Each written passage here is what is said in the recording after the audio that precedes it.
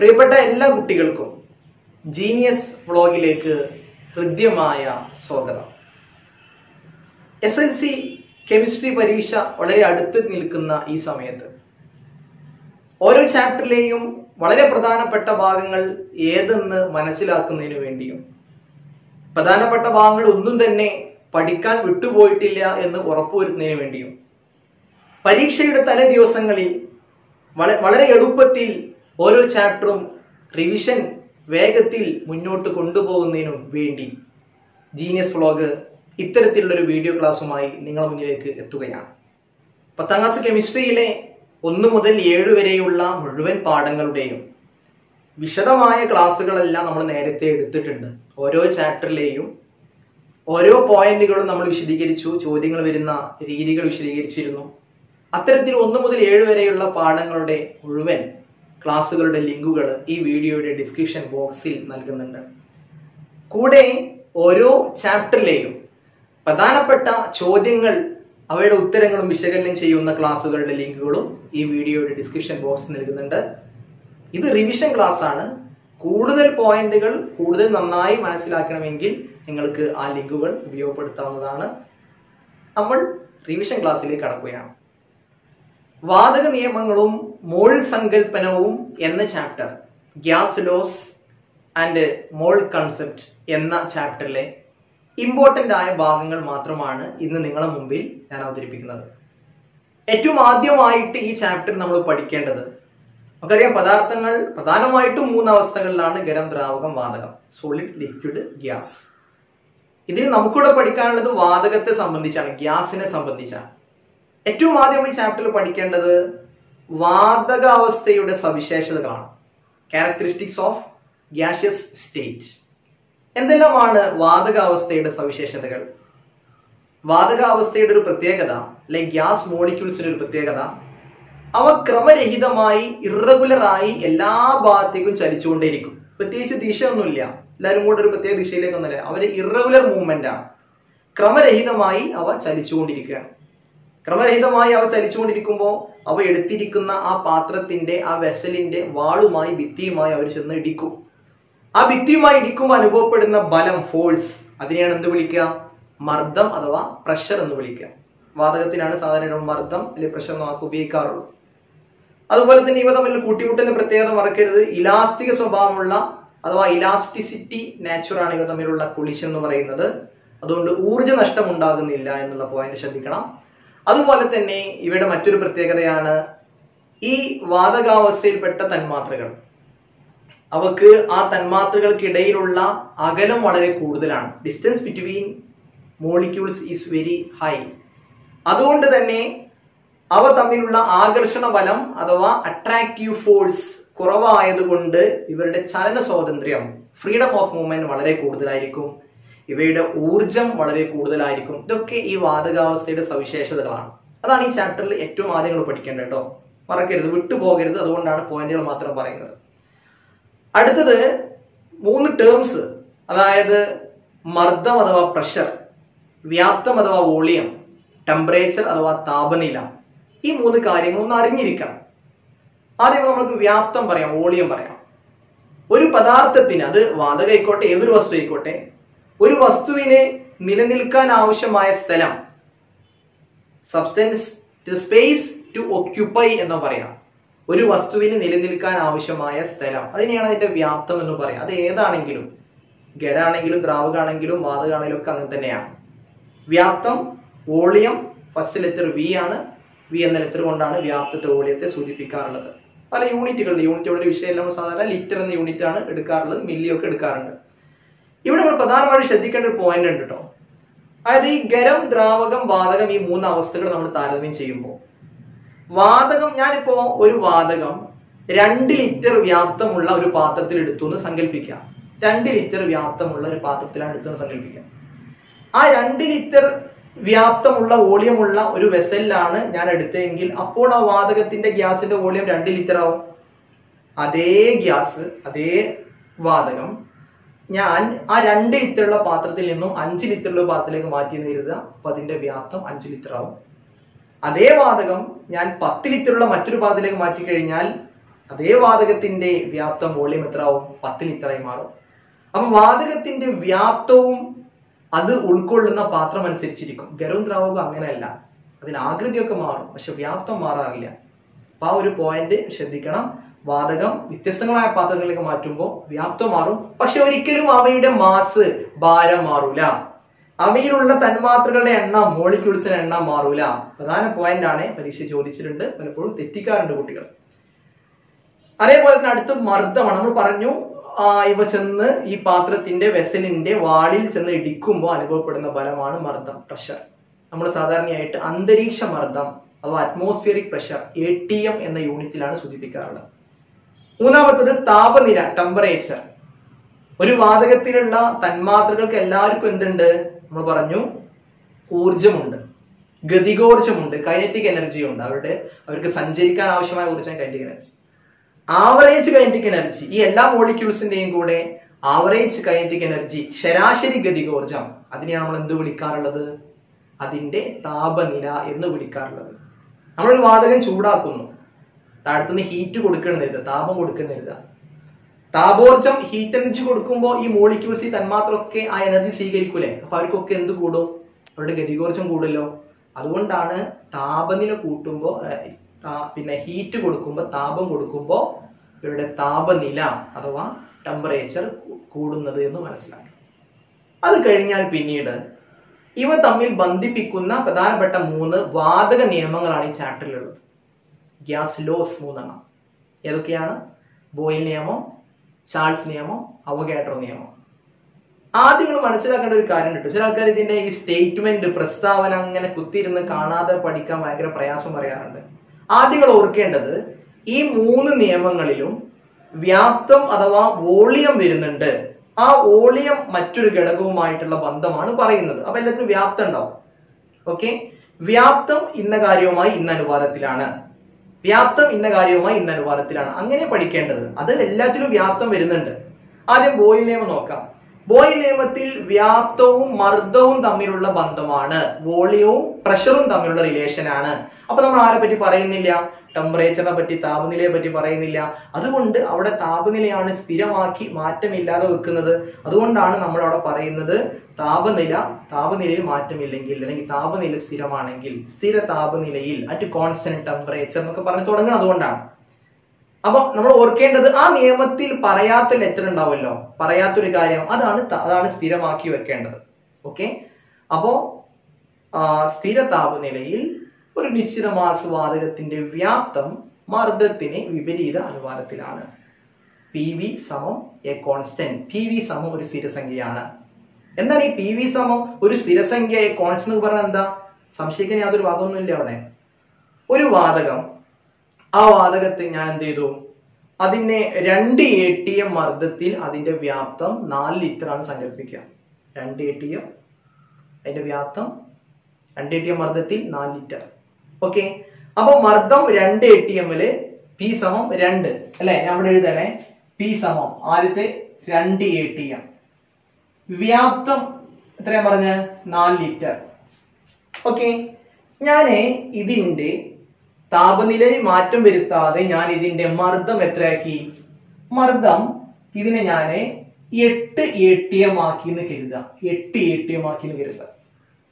അപ്പോൾ ഇതിന്റെ വ്യാപ്തം എത്രയാകും? അവിടെയാണ് ഈ പി വി സമ സ്ഥിരസംഖ്യ എന്നുള്ള കാര്യം നമ്മൾ പറയുന്നത്. അതായത് ആദ്യത്തെ പിയും വിയും തമ്മിൽ ഗുണിച്ചാൽ എത്ര കിട്ടുക? രണ്ട് ഇന്റു നാല് എട്ട്. അല്ലെ? അങ്ങനെയാണെങ്കിൽ പുതിയതായിട്ട് മാറ്റം വരുത്തിയ പുതിയതായി ഉണ്ടായ മർദ്ദവും പുതിയ വ്യാപ്തവും തമ്മിൽ ഗുണിച്ചാലും എട്ട് തന്നെ കിട്ടണം. അതാണ് പി വി സമം സ്ഥിരസംഖ്യ പി വി സമയ കോൺസ് എന്ന് പറയുന്നത്. അപ്പൊ ഇവിടെ എത്ര കിട്ടും? ഇവിടെ ഒന്ന് വരും. ഒന്ന് ഒന്ന് ലിറ്റർ. എട്ട് ഇന്റു ഒന്ന് എട്ട്. അല്ലെ? ആണ് പി വി സമം സ്ഥിരസംഖ്യ പി വണ്ണും വി വണ്ണും കൊണ്ട് ഗുണിച്ച അതേ സംഖ്യ തന്നെ ഇതിന്റെ മർദ്ദവും വ്യാപ്തവും വ്യത്യാസപ്പെടുത്തിയാൽ അവ തമ്മിൽ ഗുണിച്ചാലും ഈ സംഖ്യ തന്നെ കിട്ടണം. അതാണ് സ്ഥിരസംഖ്യ എന്ന് പറയുന്നത്. അത് വെച്ചുള്ള കണക്കുകൾ ശ്രദ്ധിക്കണം. ആ കണക്കുകളിലൊക്കെ ഈ സമവാക്യം കൊടുത്താൽ മതി. അതായത് പി വി സമസ്യയുടെ സംഖ്യ എന്ന് പറയുമ്പോൾ P into P one into V one സമം P two into V two എന്ന സമവാക്യം വേണമെങ്കിൽ കൊടുക്കാം. അല്ലെങ്കിൽ നിങ്ങൾക്ക് ഊഹം വെച്ച് എഴുതുകയും ചെയ്യാം. ഇവിടെ നോക്കി നിങ്ങൾ മർദ്ദം നാലിരട്ടിയാക്കി. അല്ലേ? അപ്പോൾ വ്യാപ്തം നാലിരട്ടി കുറഞ്ഞു. നാലിന്റെ നാലിന്റെ നാലൊരു ഭാഗമല്ലേ ഒന്ന് എന്ന് പറയുന്നത്? അപ്പൊ അതാണ് വിപരീത അനുപാതം എന്ന് പറഞ്ഞാൽ ഒന്ന് ഇരട്ടിയാക്കിയാൽ അടുത്ത ആൾ പകുതിയാവും. ഓക്കെ ഒന്നിനെ നാല് ഇരട്ടിയാക്കിയാലോ? അടുത്ത ആൾ നാല് മടങ്ങ് കുറയും. ബോയിലിന്റെ ഉദാഹരണം എന്തൊക്കെ പറയാം നമുക്ക്?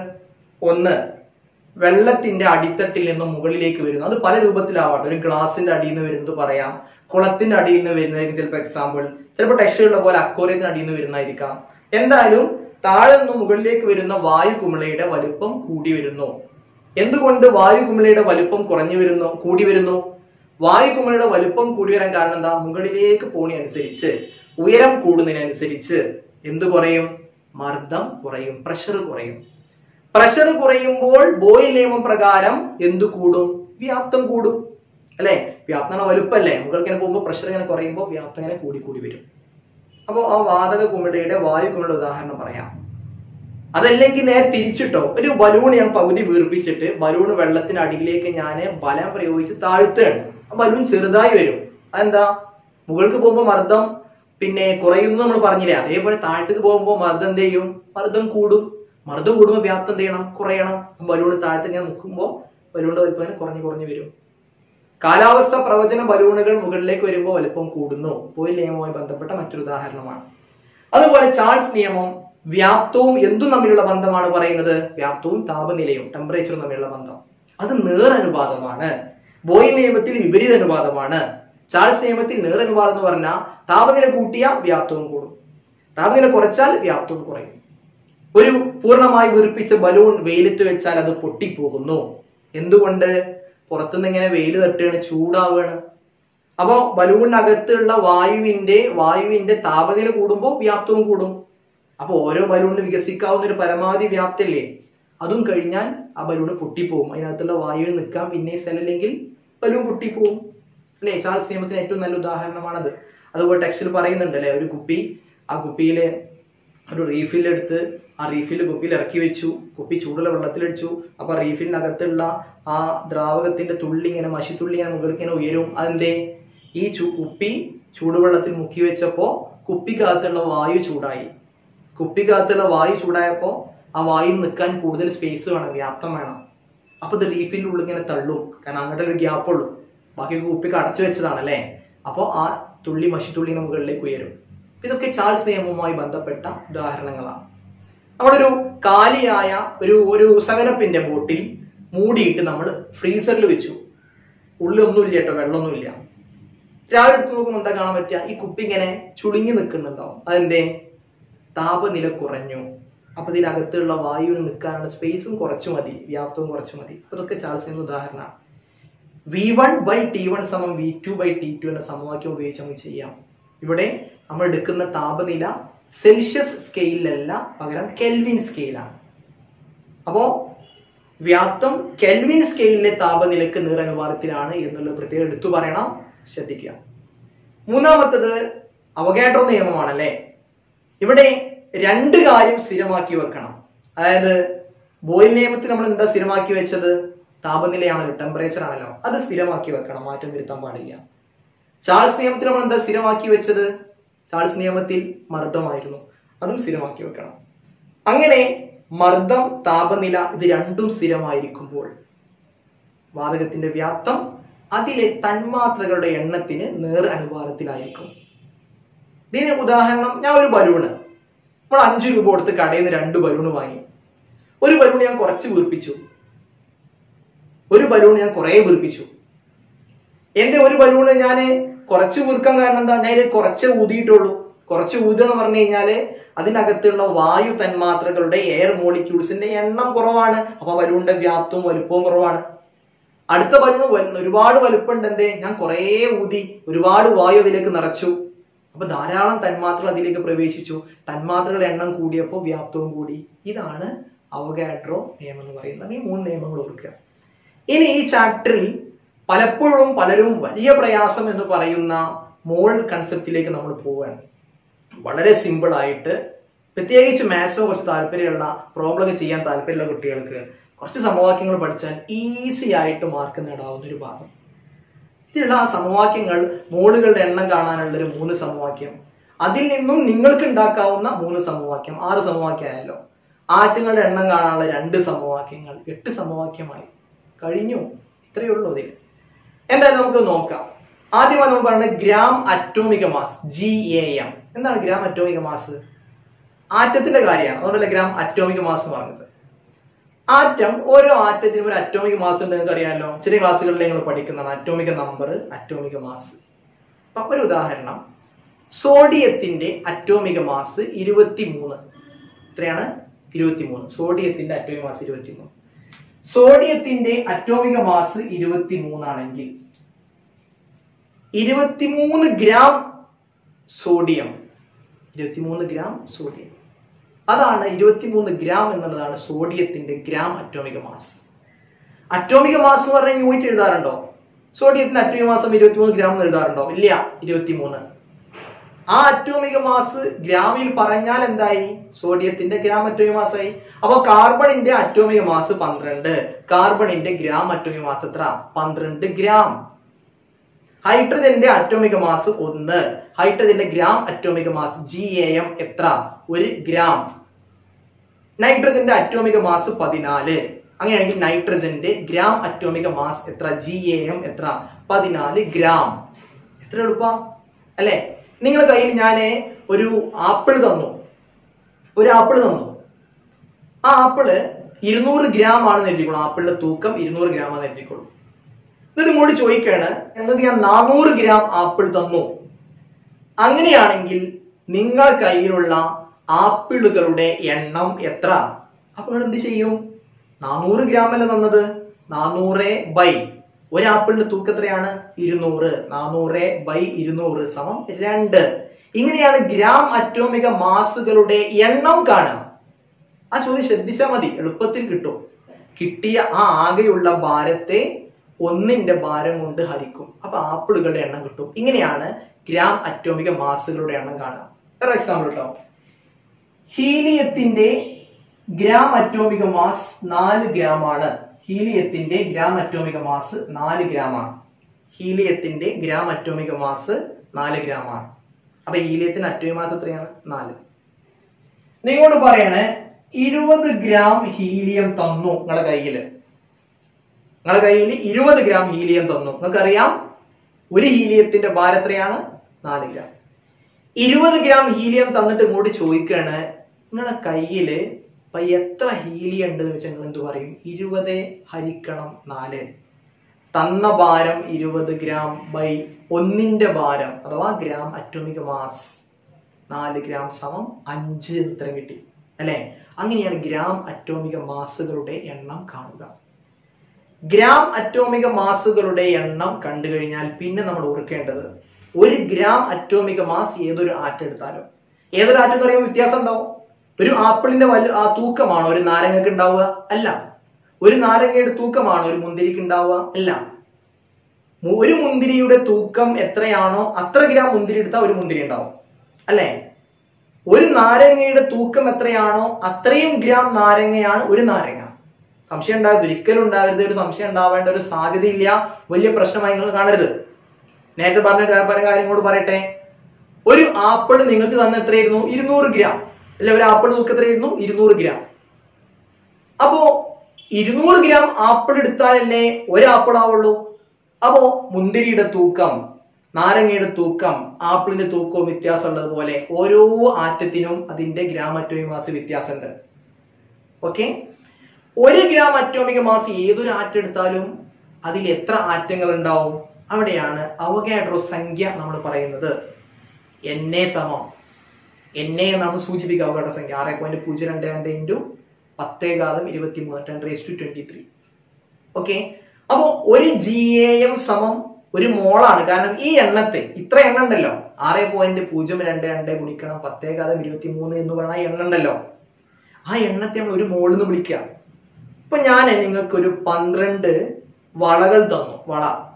പന്ത്രണ്ട് വള കേട്ടോ അപ്പൊ നിങ്ങൾക്ക് ഇതിനെ ഷോർട്ടാക്കി പറയാം. ഒരു ഡസൻ വള. ഒരു ഡസൻ വള എന്ന് പറഞ്ഞൂടെ? ഞാൻ നിങ്ങൾക്ക് ആ,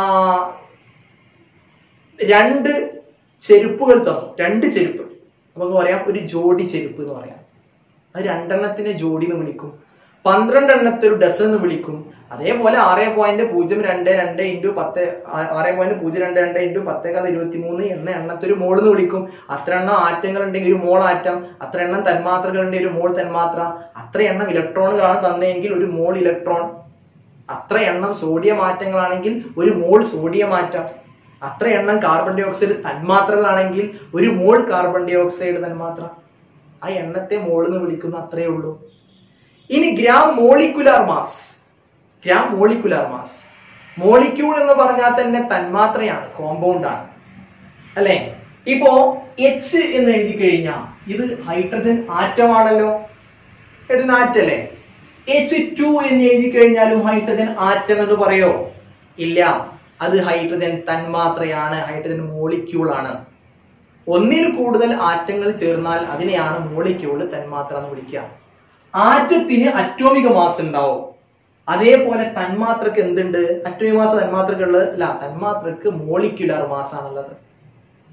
അപ്പോ സി ഒ ടുവിന്റെ മോളിക്കുലാർ മാസ് നാൽപ്പത്തിനാലാണ് ഇതിലുള്ള ഓരോ ആറ്റങ്ങളുടെയും അറ്റോമിക മാസ് കൂട്ടിയിട്ടാണ് നമുക്ക് അതിന് കിട്ടുന്നത്. മോളിക്കുലർ മാസ് കാണാൻ നിങ്ങൾക്ക് അറിയുമായിരിക്കും. സംശയം ഉണ്ടാകരുത്. മോളിക്കുലർ മാസ് കാണാൻ കൃത്യമായി അറിയണം. ഇവിടെ ഒരു കാർബൺ കാർബൺ അറ്റോമിക മാസ് പന്ത്രണ്ടാണെന്ന് ചോദ്യത്തിൽ തരും. ഓക്സിജന്റെ അറ്റോമിക മാസ് പതിനാറാണ് രണ്ട് ഓക്സിജൻ ഉണ്ട്. അപ്പൊ ഒന്നേ ഇന്റു പന്ത്രണ്ട് പ്ലസ് രണ്ട് ഇന്റു പതിനാറ് രണ്ട് ഇന്റു പതിനാറ് മുപ്പത്തിരണ്ടാണ്. അപ്പൊ പന്ത്രണ്ട് പ്ലസ് മുപ്പത്തിരണ്ടാണ് നാൽപ്പത്തിനാല് കിട്ടിയിട്ടുള്ളത്.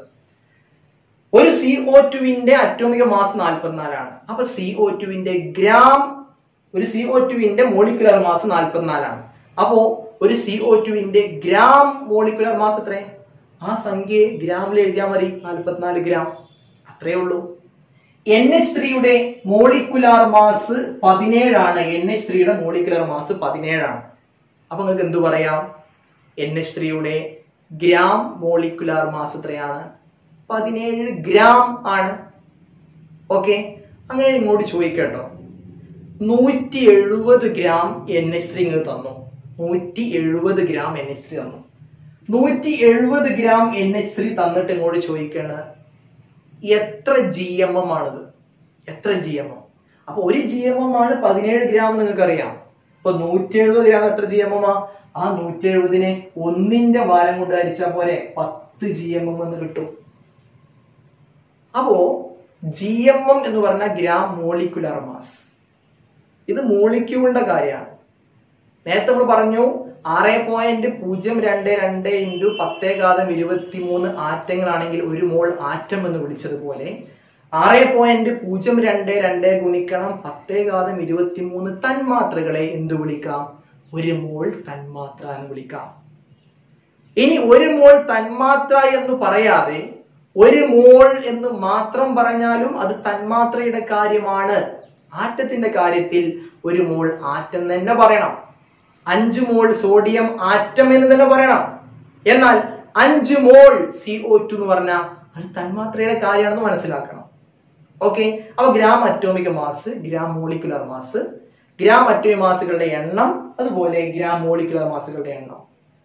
ഇനി ഇത് കഴിഞ്ഞ് മോളുകളുടെ എണ്ണം കാണാനുള്ള മൂന്ന് സമവാക്യങ്ങൾ പഠിക്കാം. അതാ നമ്മൾ എഴുതിയിട്ടുണ്ട് മോളുകളുടെ എണ്ണം കാണാനുള്ള മൂന്ന് സമവാക്യങ്ങൾ. ചോദ്യത്തിൽ നമുക്ക് ചിലപ്പോ ഭാരം ആയിരിക്കാം തരുന്നത്. ഞാൻ നേരത്തെ പറഞ്ഞതുപോലെ നൂറ്റി എഴുപത് ഗ്രാം എൻ എച്ച് ത്രീ നൂറ്റി എഴുപത് ഗ്രാം എന്ന് പറഞ്ഞ ഗ്രാമിൽ തന്നാൽ അത് ഭാരമാണെന്ന് മനസ്സിലാക്കിക്കൂടെ? ഭാരം അല്ലെങ്കിൽ മാസ് ഗ്രാമിൽ എന്നൊക്കെ പറയും. ആ ഭാരത്തെ ജി എം കൊണ്ട് ഹരിച്ചാൽ മതി. എൻ എച്ച് ത്രീയുടെ കാര്യമല്ലേ അപ്പൊ എൻ എച്ച് ത്രീയുടെ ജി എം എം എന്ന് പറഞ്ഞാൽ വലിയ പേടിക്കേണ്ട നിങ്ങൾ നിങ്ങൾ ഈ സമവാക്യം ജി എം എം എന്ന് പഠിക്കണമെന്നില്ല നിങ്ങൾ മോളിക്കുലാർ മാസ് പഠിച്ചാലും മതി. ഭാരം by molecular mass N S ത്രീയുടെ ഭാരം തന്നത് നൂറ്റി എഴുപത് ഗ്രാം. നൂറ്റി എഴുപത് ബൈ പതിനേഴ് സമം പത്ത്. അപ്പോ ഇവിടെ മൂന്ന് സമവാക്യം ഉണ്ട് മോൾ എണ്ണം കാണാൻ ഞാൻ മൂന്ന് സമവാക്യങ്ങൾ ഇവിടെ എഴുതിയിട്ടുണ്ട്. പക്ഷേ അപ്പൊ നിങ്ങൾക്ക് തോന്നും സാറേ മൂന്ന് സമവാക്യം തന്നാലേ ഞങ്ങൾ ഏത് സമവാക്യമാണ് കണക്കിൽ ചെയ്യാൻ ഉപയോഗിക്കാം ഒരു പേടിയും വേണ്ട. ഒരിക്കലും ഒരു ചോദ്യത്തിൽ എനിക്ക് മൂന്ന് സമവാക്യം കൊടുക്കാൻ പറ്റൂല. ആ ചോദ്യത്തിൽ ഏതെങ്കിലും ഒരു വിലയായിരിക്കും തന്നിട്ടുണ്ടാവുക. ഒന്നുകിൽ ഇത്ര ഗ്രാം എന്ന് പറഞ്ഞിട്ടുണ്ടാവും. അപ്പൊ അത് ഭാരമാണ് വെയിറ്റ് ആണ്. അതല്ലെങ്കിൽ തന്മാത്രകളുടെ എണ്ണമായിരിക്കും. ചിലപ്പോ പതിനെട്ട് പോയിന്റ് പൂജ്യം ആറ് ആറ് ഗുണിക്കണം. പത്തേകാതം ഇരുപത്തി മൂന്ന് എൻ എച്ച് ത്രീ തന്മാത്രകൾ എന്നാൽ അത് തന്മാത്രകളുടെ എണ്ണമല്ലേ? നമ്പർ ഓഫ് മോളിക്യൂൾസ് അല്ലേ? അപ്പൊ ഈ സമവാക്യം ഉപയോഗിക്കാൻ പറ്റുള്ളൂ. ആ പതിനെട്ട് പോയിന്റ് പൂജ്യം ആറ് ആറ് ഗുണിക്കണം പത്തേകാതം ഇരുപത്തി മൂന്ന് by N A by N എന്ന് പറയാത്രയാണ് ആറ് പോയിന്റ് പൂജ്യം രണ്ട്. ഇത് ഹരിക്കാൻ ചാകർ വലിയ പേടി തോന്നും. ഇവിടെ ആ മുകളിൽ പതിനെട്ട് പോയിന്റ് ആണ് തുടങ്ങിയത്. അല്ലെ? മുകളിൽ പതിനെട്ട് പോയിന്റ് പൂജ്യം ആറ് ആറ് ഗുണിക്കണം പത്തേകാതം ഇരുപത്തി മൂന്ന് താഴെ ആറ് പോയിന്റ് പൂജ്യം രണ്ട് രണ്ട്. അല്ലെ? ഇങ്ങനെ നമ്മൾ ചെയ്തത്. ആറിന് എത്ര കൊണ്ട് ഗുണിച്ചാലോ? പതിനെട്ട് കിട്ടുക. മൂന്ന് കൊണ്ട്. ഉത്തരം മൂന്ന്. അത്രേ ഉള്ളൂ. വലിയ പേടിക്കേണ്ട ഒരു സംഗതി ഒന്നല്ല അത്. അപ്പൊ അങ്ങനെ ഹരിക്കുമ്പോ സിമ്പിൾ ആയിട്ട് ഹരിക്കാവുന്നതേ ഉള്ളൂ. അപ്പൊ മുകളിലെ പന്ത്ര- പന്ത്രണ്ട് പോയിന്റ് പൂജ്യം നാല് നാല് ഇന്റു പത്തേകാതം ഇരുപത്തി മൂന്ന് ബൈ ആറ് പോയിന്റ് പൂജ്യം രണ്ട് രണ്ട് ഗുണിക്കണം പത്തേകാതം ഇരുപത്തി മൂന്ന് ആറിന് എത്ര കൊണ്ട് ഗുണിച്ചാലും പന്ത്രണ്ട് കിട്ടുക. രണ്ട് അപ്പൊ ഉത്തരം രണ്ട്. അപ്പൊ ഇത് ഹരിക്കാതൊന്നും വേണ്ട. നിങ്ങൾക്ക് ഹരിച്ച് കാണിക്കാം. ഇനി തെറ്റുമെന്ന് വലിയ പേടിയുള്ളവരാണെങ്കിൽ നിങ്ങൾ ഹരിക്കണ്ട. ജസ്റ്റ് ഇങ്ങനെ താഴെ ഓക്കെ? അതെല്ലാം ആറിന് എത്ര ഗുണിച്ചാൽ പന്ത്രണ്ട് കിട്ടുക. മുകളിൽ പതിനെട്ടാണെങ്കിലോ? ഉത്തരം മൂന്ന്. മുകളിൽ ആറ് പോയിന്റ് ആണെങ്കിലോ ഉത്തരം ഒന്ന്. മുകളിൽ മൂന്ന് പോയിന്റ് പൂജ്യം ഒന്ന് ഒന്നാണെങ്കിലോ ആറിന് എത്ര ചില മൂന്ന് കിട്ടുക. ആറിന് പകുതിയല്ല മൂന്ന്. അപ്പൊ പൂജ്യം പോയിന്റ് അഞ്ച്. മുകളിൽ മുപ്പത് പോയിന്റ് ഒന്ന് ഒന്ന് എന്നാണെങ്കിലോ ആറിന് എത്ര ചില മുപ്പത് കിട്ടുക. അഞ്ച്. അത്രേ ഉള്ളൂ ഹരിക്കാൻ. അല്ല ഇതെല്ലാം കൂടി കാണുമ്പോൾ ഒരുപാട് പേടിക്കേണ്ട ആവശ്യമില്ല ഈ അതല്ല ചിലപ്പോൾ നിങ്ങൾക്ക് മോളുകളുടെ എണ്ണം കാണാൻ തരുന്ന ചോദ്യങ്ങളിൽ എസ് ടി പിയിലെ വ്യാപ്തമായിരിക്കും തരിക. വോളിയം മറ്റേ എസ് ടി പി ആയിരിക്കും തരിക. അത് നിങ്ങളോട് പറയും എസ് ടി പിയിൽ എസ് ടി പിയിൽ നാൽപ്പത്തിനാല് പോയിന്റ് എട്ട് ലിറ്ററിൽ സ്ഥിതി ചെയ്യുന്ന എസ് ടി പിയിലെ നാൽപ്പത്തിനാല് പോയിന്റ് എട്ട് ലിറ്ററിൽ സ്ഥിതി ചെയ്യുന്ന നാൽപ്പത്തിനാല് പോയിന്റ് എട്ട് ലിറ്ററിൽ സ്ഥിതി ചെയ്യുന്ന അമോണിയിൽ അടങ്ങിയിരിക്കുന്ന മോളുകളുടെ എണ്ണം കാണുക. അവതാ ചോദ്യത്തിൽ തന്ന വില എസ് ടി പിയിലെ വ്യാപ്തമാണ്. അതിന് എത്ര ഉണ്ടായിരിക്കുക ഇരുപത്തിരണ്ട് പോയിന്റ് നാല്. ഇരുപത്തിരണ്ട് പോയിന്റ് നാല്. ഉത്തരം രണ്ട് മോൾ എന്ന് കിട്ടും. ഹരിക്കാൻ അറിയുമെങ്കിൽ ഹരിക്കുക. അല്ലെങ്കിൽ അവിടെ നിർത്താം. കുഴപ്പമൊന്നുമില്ല. അപ്പോ ഈ മൂന്ന് സമവാക്യങ്ങളിൽ ഏതെങ്കിലും ഒരു വില മാത്രമേ എക്സാമിന് തരുള്ളൂ. ആ വില വെച്ചുള്ള സമവാക്യമാണ് ഉപയോഗിക്കേണ്ടത്. ഈ മൂന്ന് സമവാക്യങ്ങളിൽ നിന്നും നിങ്ങൾക്ക് ഈ സമവാക്യത്തിൽ നിന്നും ഭാരം കാണാനുള്ള സമവാക്യം കിട്ടും. ഈ സമവാക്യത്തിൽ നിന്നും തന്മാത്രകളുടെ എണ്ണം കാണാനുള്ള സമവാക്യം കിട്ടും. ഈ സമവാക്യത്തിൽ നിന്നും എസ് ടി പിയിലെ വ്യാപ്തം കാണാനുള്ള സമവാക്യം കിട്ടും. എങ്ങനെ ഭാരം സമം. ഇവിടെ ഹരിക്കണം ജിയം എന്നുള്ളതിനെ സമത്തിന്റെ അപ്പുറത്തേക്ക് കൊണ്ടുപോവുക. അപ്പൊ ഭാരം സമം. മോളുകളുടെ എണ്ണം ഗുണിക്കണം ജി എം എം അപ്പോൾ പുതിയ സമവാക്യങ്ങൾ എങ്ങനെ ഇരുന്ന് കുത്തേ കുത്തിയിരുന്ന് പഠിക്കൊന്നും വേണ്ട. ഈ ഈ സമവാക്യം മൂന്നെണ്ണം എഴുതാറിഞ്ഞാൽ ഇന്ന് അടുത്ത മൂന്നെണ്ണം ഉണ്ടാക്കാം പരീക്ഷ പേപ്പറിന്റെ വലതുഭാഗത്ത് വലതുഭാഗത്തെ മാർജിന് നിങ്ങൾക്ക് ആദ്യം അറിയുന്ന സമവാക്യങ്ങൾ പരീക്ഷ തുടങ്ങി ഉടനെ എഴുതി വെക്കുക. അതിന് ആവശ്യമുള്ള സമവാക്യങ്ങൾ ഉപയോഗിക്കാം. ആവശ്യമുള്ള സമവാക്യങ്ങൾ വീണ്ടും ഒക്കെ ഉണ്ടാക്കാം. അതുകൊണ്ട് വെറുതെ പേടിച്ച് ചെയ്യാൻ കഴിയൂല എന്ന പേടിയോട് കൂടെ ചോദ്യങ്ങൾ വെറുതെ നിങ്ങൾ ഒഴിവാക്കരുത്. ഈസി ആയിട്ട് ചെയ്യാവുന്ന ചോദ്യങ്ങളേ ഉള്ളൂ. ഓക്കെ തന്മാത്രകളുടെ എണ്ണം സമം. മോളുകളുടെ എണ്ണം ഇവിടെ ഹരിക്കണം എന്നുള്ള സമത്തിന്റെ ഇപ്പുറത്തേക്ക് കൊണ്ടുപോകുക ഇവിടെ സമമാണല്ലോ. സമത്തിന്റെ ഇപ്പുറത്തേക്ക് കൊണ്ടുപോവുക. അപ്പോൾ തന്മാത്രകളുടെ എണ്ണം സമം. Number of molecules is equal to മോളുകളുടെ എണ്ണം. Number of moles into N A നാവും ഇവിടെ ഹരിക്കണം എന്നുള്ള എന്നെ ഇവിടെ കൊണ്ടുവന്നല്ലോ അതേപോലെ എസ് ടി പിയിലെ വ്യാപ്തം കാണാനുള്ള സമവാക്യം. എസ് ടി പിയിലെ വ്യാപ്തം. Volume at S T P is equal to മോളുകളുടെ എണ്ണം ഇന്റു ഇരുപത്തിരണ്ട് പോയിന്റ് നാല്. ആറ് സമവാക്യം പഠിച്ചു. ഇത്ര ഈസി ആയിട്ട് പഠിച്ചല്ലേ അത്രയേ ഉള്ളൂ കാര്യങ്ങൾ. അതുപോലെ അടുത്തത് ആറ്റങ്ങളുടെ എണ്ണം കാണാൻ ചോദിക്കുകയാണ്. നമ്പർ ഓഫ് ആറ്റംസ് കാണാൻ ചോദിക്കുകയാണ്. നമ്പർ ഓഫ് ആറ്റംസ് കാണാനുള്ള ചോദ്യം രണ്ട് രൂപത്തിൽ വരാം. നമ്പർ ഓഫ് ആറ്റംസ് കാണാനുള്ള ചോദ്യം രണ്ട് രൂപത്തിൽ വരാം. ആ രണ്ട് രൂപത്തിലും നമ്മൾ കൊടുക്കുന്ന രണ്ട് സമവാക്യങ്ങളാണ്. എല്ലാം ഒരേ സമവാക്യം ഉപയോഗിച്ച് നമ്മൾ ചെയ്യാം. അതുകൊണ്ട് അവിടെ ഞാൻ രണ്ട് സമവാക്യങ്ങൾ എഴുതി അതുകൊണ്ടാണ്. ആറ്റങ്ങളുടെ എണ്ണ ഒന്ന്. ഭാരം എയും അടുത്തൊന്ന് ആറ്റങ്ങളുടെ എണ്ണ സമം. മോളുകളുടെ എണ്ണം ഗുണിക്കണം അറ്റോമികത into N A atomicity into N A ഒന്നാം സമവാക്യം നോക്കി നിങ്ങൾ. ഭാരം ബൈ ജി എം അതായത് ഞാൻ രണ്ട് ചോദ്യങ്ങൾ തരും കേട്ടോ. ഒന്ന് നേരത്തെ പറഞ്ഞതുപോലെ ഇരുപത് ഗ്രാം ഹീലിയത്തിലുള്ള ആറ്റങ്ങളുടെ എണ്ണം കാണുക. ഇത് ബ്രാക്കറ്റ് തരും. ഹീലിയത്തിന്റെ അറ്റോമിക മാസ് നാലാണ്. അടുത്തത് രണ്ട് മോൾ എൻ എച്ച് ത്രീയിൽ അടങ്ങിയിരിക്കുന്ന ആറ്റങ്ങളുടെ എണ്ണം കാണുക. രണ്ടും ആറ്റങ്ങളുടെ എണ്ണം കാണാനുള്ള ചോദ്യങ്ങളാട്ടോ. ഒന്നെന്തായിരുന്നു? ഇരുപത് ഗ്രാം ഹീലിയം. ഇരുപത് ഗ്രാം ഹീലിയത്തിലെ ആറ്റങ്ങളുടെ എണ്ണം. അപ്പൊ ഇത് ഇതൊരു ആറ്റാണ്. ഇരുപത് ഗ്രാം ഹീലിയം ആറ്റമാണ്. ഇത് രണ്ട് mole N H three N H three ഒരു സംയുക്തമാണ്. അല്ലെ? ഒരു മോളിക്യൂളാണ്. അപ്പോ ആ രണ്ടും ഒരേ സമവാക്യം ഉപയോഗിച്ച് ഒരിക്കലും ചെയ്യാൻ പറ്റൂല. അപ്പൊ നിങ്ങൾ നോക്കിയത് ഇവിടെ നിങ്ങൾ കറക്റ്റ് ഭാരം അറ്റോമിക മാസം തന്നില്ലേ?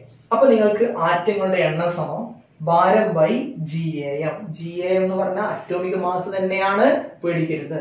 അപ്പൊ ഇവിടെ ചെയ്യാം. ഇരുപത് ഇത് ഇരുപത് ആണല്ലോ ഭാരം. ഭാരം ഇരുപതാണല്ലോ. ബൈ ജി എ എം അഥവാ അറ്റോമിക് മാസ് ഉത്തരം കിട്ടി. ഇന്റു അവിടെ into N A into N A ഭാരം by G A M into N A into എന്നോട് വിട്ടുപോയതാണ്. ഇന്റു എൻ എ അപ്പോ ഇരുപത് നാല് ഇന്റു എൻ എ അതായത് അഞ്ച് ഇന്റു എൻ ഓക്കെ എന്നാൽ ഇവിടെ നോക്കി നിങ്ങൾ രണ്ട് മോൾ എൻ എച്ച് ത്രീ രണ്ട് മോൾ എൻ എച്ച് ത്രീ ആവുമ്പോ ഇവിടെ നമുക്ക് ഭാരം by G A M into N S നമുക്ക് ഉപയോഗിക്കാൻ പറ്റുമോ? ഇവിടെ ഭാരം തന്നിട്ടില്ല. ഒരിക്കലും എൻ എച്ച് ത്രീക്ക് ജി എ എം പറഞ്ഞ സാധനം ഉണ്ടാവില്ല. ജി എ എം പറഞ്ഞ ഗ്രാം അറ്റോമിക മാസ് അല്ലേ? എന്നാൽ ഇതൊരു മോളിക്യൂൾ അല്ലേ? സംയുക്തല്ലേ അപ്പൊ ഒരിക്കലും ഇതിന് എന്തുണ്ടാവില്ല? അറ്റോമിക മാസ് ഉണ്ടാവില്ല. ഇതിന് മോളിക്കുലർ മാസം ഉണ്ടാവുള്ളൂ. അതുകൊണ്ട് ഭാരം by G M into N A എന്ന സമവാക്യം ഇവിടെ ഒരിക്കലും കൊടുക്കാൻ പറ്റൂല. അപ്പൊ അടുത്ത സമവാക്യം ഉണ്ട് മോളുകളുടെ എണ്ണം ഗുണിക്കണം. അറ്റോമിസിറ്റി അല്ലെങ്കിൽ അറ്റോമികത ഇന്റു എൻ എ മോളുകളുടെ എണ്ണം എത്ര? ചോദ്യത്തിലുണ്ടല്ലോ രണ്ട് മോൾ രണ്ട് ഇന്റു അറ്റോമികത ഒരു പേടി മേടിക്കണം അറ്റോമിസിറ്റി സിമ്പിൾ ആണ്. എങ്ങനെ? അറ്റോമിസിറ്റി നോക്കുക അറ്റോമികത നോക്കുക. എൻ എച്ച് ത്രീയിൽ എത്ര എൻ ഉണ്ട്? ഒരു എൻ എത്ര എച്ച് ഉണ്ട്? മൂന്ന് എച്ച് ഒരു എന്നും മൂന്ന് എച്ചും ഒന്നേ പ്ലസ് മൂന്ന് എത്രയാണ്? നാല്. ഇതാണ് എൻ എച്ച് ത്രീയുടെ അറ്റോമികത നാല്. ഓക്കെ അപ്പോ മോളുകളുടെ എണ്ണം സമം രണ്ട് രണ്ട് ഇന്റു അറ്റോമികത സമം നാല് ഇന്റു എൻ എ സമം എട്ട് ഇന്റു എൻ എ. ഇതാണ് ആറ്റങ്ങളുടെ എണ്ണം കാണാൻ രണ്ട് സമവാക്യങ്ങൾ ഉപയോഗിച്ചുള്ള രണ്ട് ചോദ്യങ്ങൾ. അപ്പോ ഏത് സമവാക്യമാണ് കൊടുക്കുക എന്നുള്ളത്? ആ ചോദ്യത്തിൽ തന്നിട്ടുള്ള വില വെച്ച് മനസ്സിലാക്കുക എന്നുള്ളതാണ് ഇവിടെ നിങ്ങൾ ചെയ്യേണ്ടത്. കൂടെ ഇക്വേഷൻ അറിഞ്ഞിരുന്നാൽ വളരെ എളുപ്പത്തിൽ നിങ്ങൾക്ക് ഇതിനെ ആൻസർ ചെയ്യാൻ കഴിയും. ഗ്രാം അറ്റോമിക മാസുകളുടെ എണ്ണമാണ് ചോദിച്ചെങ്കിൽ ഭാരത് ജി എ കൊണ്ട് ഹരിക്കുക ഇപ്പൊ നിങ്ങളോട് ചോദിക്കാണ് ഞാൻ നേരത്തെ പറഞ്ഞതുപോലെ ഇരുപത് ഗ്രാം ഹീലിയം. അതിലെ ഗ്രാം അറ്റോമിക മാസുകളുടെ എണ്ണം എത്ര? എണ്ണം എത്ര? അപ്പൊ ഇരുപത് ബൈ ജി എ എം ഹീലിയത്തിന്റെ അറ്റോമിക മാസ് പരീക്ഷ തരും നാല്. അതുകൊണ്ട് അഞ്ച് ജി എ എം ഇത്രയേ ഉള്ളൂ. അതേപോലെ തന്നെ ഗ്രാം മോളിക്കുലർ മാസുകളുടെ എണ്ണം. ഭാരം ബൈ ജി അപ്പൊ സി ഒ ടുവിന്റെ മോളിക്കുലർ മാസ് നാൽപ്പത്തിനാല് ഇരുന്നൂറ്റി ഇരുപത് ഗ്രാം സി ഒ ടുവിലെ ഗ്രാം മോളിക്കുലർ മാസുകളുടെ എണ്ണം എത്ര? ഇരുന്നൂറ്റി ഇരുപത് ബൈ നാൽപ്പത്തിനാല് സമം അഞ്ച് എന്ന് ഉത്തരം കിട്ടും. അഞ്ച് ജി എം ഒ അപ്പൊ ഇങ്ങനെയാണ് ഈ ചാപ്റ്ററിലെ ഇക്വേഷൻസ് വരുന്നത്. കുട്ടികളെ ഒരു പേടിയും പേടിക്കണ്ട. മോൾ കൺസെപ്റ്റ് മോൾ സങ്കല്പനം എന്നുള്ളത് വളരെ സിമ്പിൾ ആണ്. നിങ്ങൾ കാര്യങ്ങളെ പോസിറ്റീവായിട്ട് കാണുക. ഒരുപാട് ചോദ്യങ്ങൾ നമ്മൾ ഡിസ്കസ് ചെയ്തിട്ടുണ്ട്. ഒരുപാട് ചോദ്യങ്ങൾ ഈ ചാപ്റ്ററിൽ ചെയ്തിട്ടുണ്ട്. അതൊക്കെ ഞാൻ ഈ വീഡിയോ ഡിസ്ക്രിപ്ഷൻ ബോക്സിൽ ദാ ഈ ട്രയാങ്കിൾ ചിഹ്നം കാണാം ഈ വീഡിയോയുടെ പിന്നെ താഴെ വലതുഭാഗത്ത് കാണാം. അതിന് നെക്കിക്കഴിഞ്ഞാൽ അതിൽ ഒന്ന് മുതൽ ഏഴ് വരെയുള്ള മുഴുവൻ ചാപ്റ്ററുകളുടെയും വിശദമായ ക്ലാസ്സുകളും അതിൽ വരുന്ന രൂപത്തിലുള്ള ചോദ്യങ്ങളുടെ ഡിസ്കഷനും ഒക്കെ നടത്തിയിട്ടുണ്ട്. അതിനെല്ലാം ലിങ്കുകൾ അവിടെ കൊടുത്തിട്ടുണ്ട്. നിങ്ങൾക്ക് വിശദമായിട്ട് ഈ ക്ലാസ്സുകൾ കാണണമെങ്കിൽ ആ ലിങ്കുകൾ സന്ദർശിച്ച് നിങ്ങൾക്ക് ഈ ക്ലാസ്സുകളൊക്കെ വിശദമായിട്ട് കേൾക്കാം. എന്തായാലും കോൺഫിഡൻസോട് കൂടെ എക്സാം നേരിടുക. ഒരു പേടിയും ആവശ്യമില്ല. പഠിച്ച നമുക്ക് പേടി ഒരു വിഷയമല്ല അതുകൊണ്ട് തന്നെ പേടിക്കാതെ ആത്മവിശ്വാസത്തോടെ പോയി പരീക്ഷ എഴുതുക. കെമിസ്ട്രിയിൽ നിങ്ങൾ എ പ്ലസ് നേടിയിരിക്കും ഈ പറഞ്ഞ കാര്യങ്ങൾ ശ്രദ്ധിച്ചു പോയിട്ടുണ്ടെങ്കിൽ ഒരുപാട് പരത്തി പഠിക്കുക എന്നുള്ളതല്ല പഠിക്കുന്ന കാര്യങ്ങൾ കൃത്യമായി മനസ്സിലാക്കി മാത്രം പഠിക്കുക. കാണാതെ എന്തെങ്കിലും കുറേ പറഞ്ഞു വെച്ച് പോയിരുന്ന ഒരു ചോദ്യം കാണുമ്പോഴേക്കും ആകെ പേടിച്ച് പിന്നെ ഒന്നും ചെയ്യാൻ കഴിയാത്ത രൂപത്തിലാവരുത്. എല്ലാവർക്കും അടുത്ത പരീക്ഷയിൽ നല്ലൊരു വിജയം ആശംസിച്ചുകൊണ്ട് നിർത്തുന്നു. നന്ദി.